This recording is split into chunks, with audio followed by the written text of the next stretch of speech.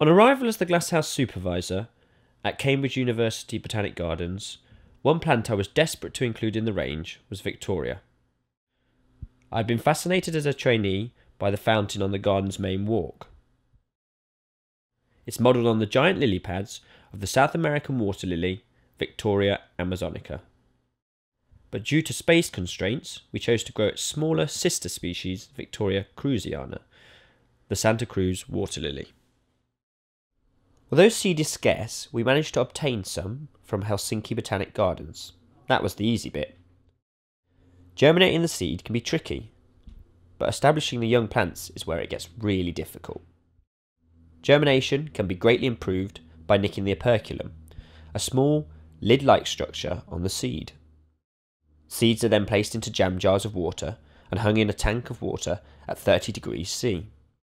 Germination is quick and the initial leaf looks like a blade of grass. This is followed by two spear shaped leaves. All leaves at this point are fully aquatic. Once roots begin to show, the seedlings are transplanted into pots of loam, and I wait on tenter hooks until the first oval, water lily like leaf breaks the surface.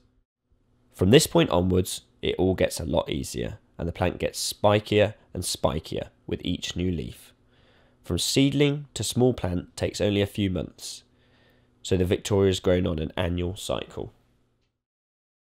It's a fantastic plant, native to the open waterways of northern Argentina and Paraguay. The huge leaves grow rapidly, unravelling to nearly 2 metres in diameter.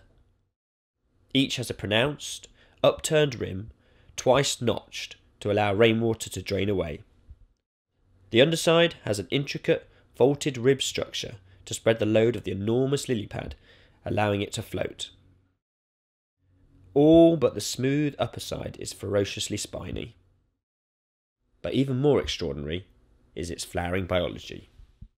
On the evening of day one, the big bud opens pure white and emitting a pineapple aroma. As night falls, chemical changes in the flower cause it to heat up.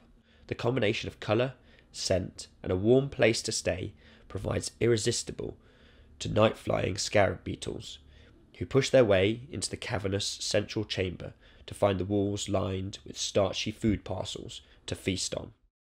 The flower appears to be every beetle's dream boudoir. But at daybreak of day two, the flower closes up, trapping the scarab beetles inside.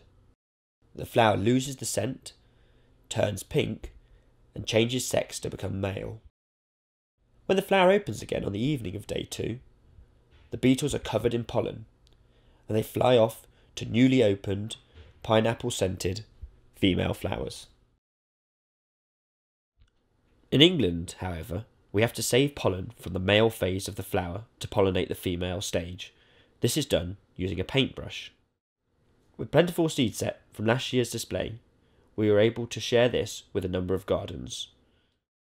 We will ourselves repeat the feat and grow the Victoria from scratch again this year, so more people can discover and enjoy the extraordinary biology and beauty of this fascinating transgender beetle kidnapping plant.